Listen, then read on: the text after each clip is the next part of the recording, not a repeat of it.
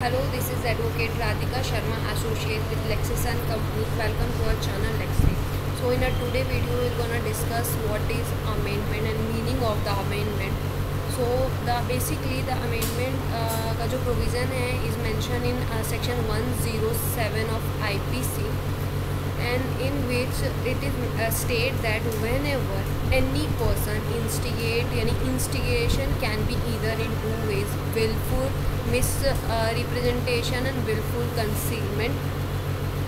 And the uh, like so whoever engage in criminal conspiracy and act in pursuance in criminal conspiracy word used in agreement and here is uh, engage and uh, intentionally aiding at the time of offense or before the time of offense is called abetment. Thank you for watching this video. We'll see you super soon in our next video. Thank you guys